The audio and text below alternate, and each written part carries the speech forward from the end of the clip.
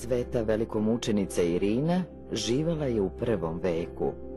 Njen otac Likinije bio je upravitelj grada Magedona u Trakiji.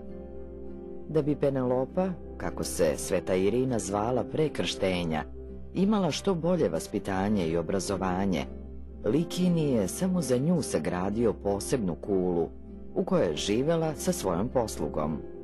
Sobe devojčine bile su pune raskoši, ali i svakojakih idola, jer je njen otac verovao da je oni mogu zaštititi. Za devojčino obrazovanje bio je zadužen stari učitelj Apelanije. Ovaj čestiti i blagorazumni starac bio je potajni hrišćanin, tako da se Penelopa uz svetovno obrazovanje naučila i velikoj duhovnoj mudrosti.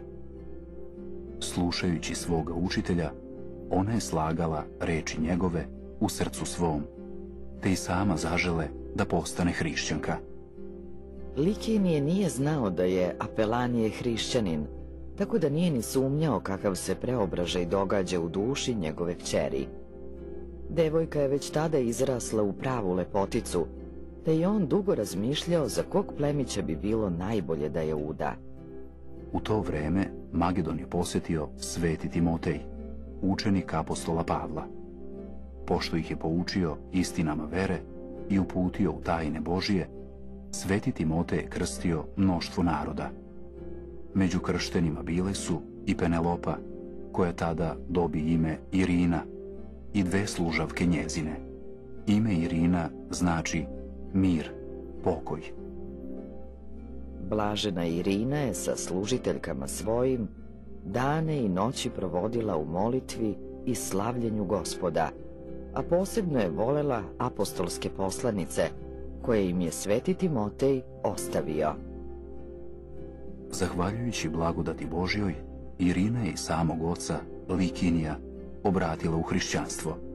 Posle toga počinje veliki misionarski rad Svete Irine.